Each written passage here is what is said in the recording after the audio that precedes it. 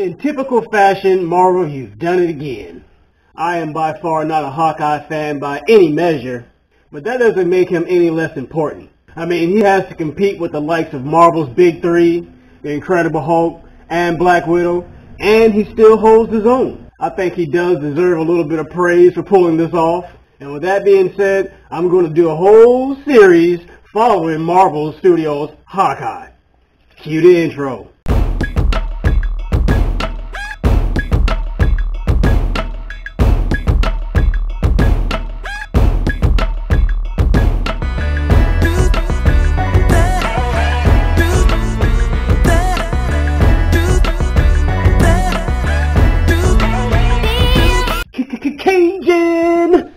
Red Leo, back again with another video, man.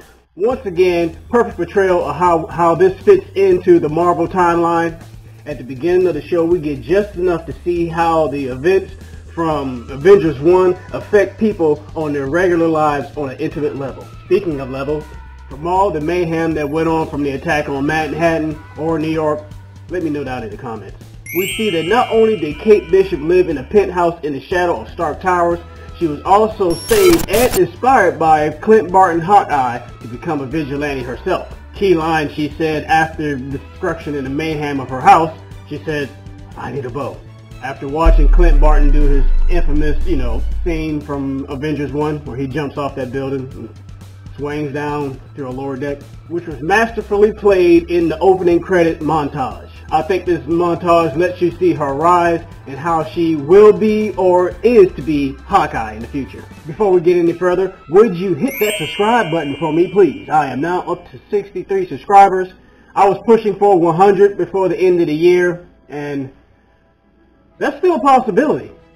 Hit the like button as well and leave a comment. Now to Hawkeye himself, we see him trying to live a normal life again trying to spend the holidays with his kids. We see him in a musical which is portraying Steve Rogers' life and career. We see Barton going through it as Natasha Romanoff Black Widow's characters on stage, kind of going through some post-traumatic stress. Now this is not by mere chance.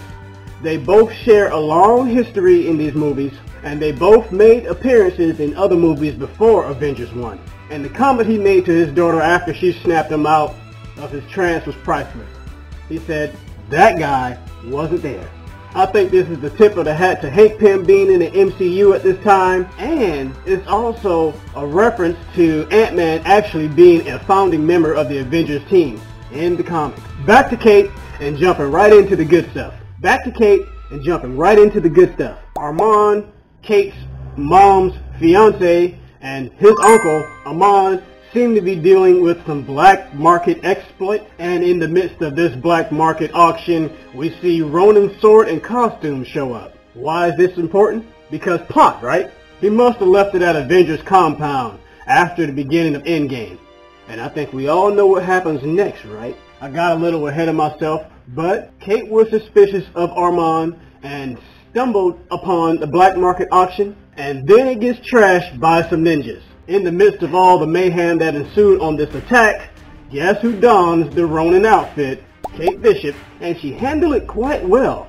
I was impressed. And somewhere along the lines again through all this mayhem, and somewhere along the lines again through all this chaos and mayhem, Kate Bishop stumbles upon Armand, the uncle, lying dead on the floor. And I'm so glad she didn't get caught because I really didn't want to see it go down like that. So she snuck she snuck out. Now, I don't know a lot about Armand's history, but I do believe that he is going to be the swordsman in this show and possibly the main antagonist, or one of the main antagonists. And thank goodness this broke out into the streets because it caused enough ruckus for this to be aired on the news, letting Hawkeye see what is going on. Someone taking his Ronin costume for a ride. Now, originally I wanted to tie the first two episodes into each other, but obviously I didn't get around to it. So I will be doing a follow-up video on the second episode, and hopefully I can get it out to you this week. But yeah, so far, man, I am really enjoying this show. Marvel is really not disappointing me. DC, I don't know what you guys are doing.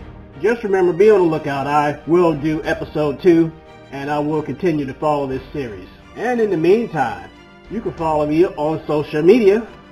I'm there all day, every day, and this stuff will be linked down in the descriptions. Till next time, man, y'all be blessed. Keep God in your life. Stay prayed up in this.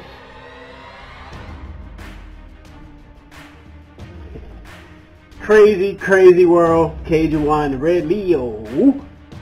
I'm out, baby.